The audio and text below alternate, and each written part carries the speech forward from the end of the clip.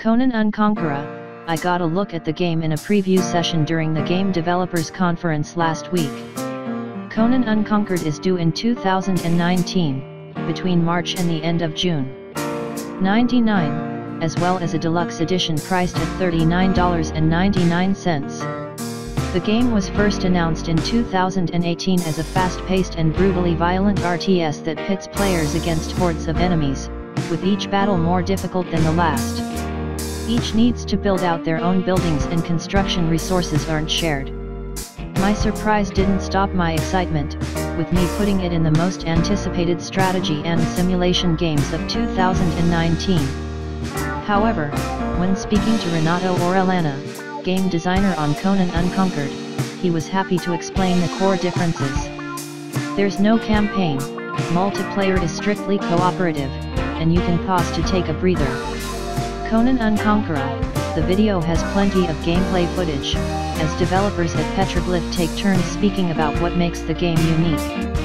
This is a side element to the real focus of the game, defending your home.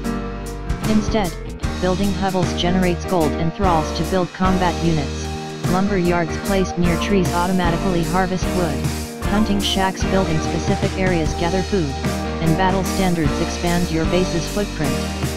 Today, publisher Funcom dropped a nice, long behind-the-scenes look at development.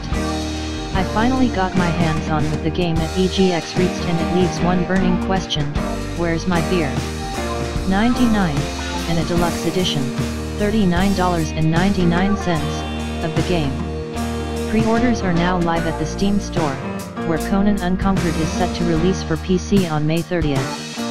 So sure, you will sometimes need to creep out and grab resources from beyond your walls, but that's not much more violent than fighting through the hordes at B&Q on a bank holiday weekend.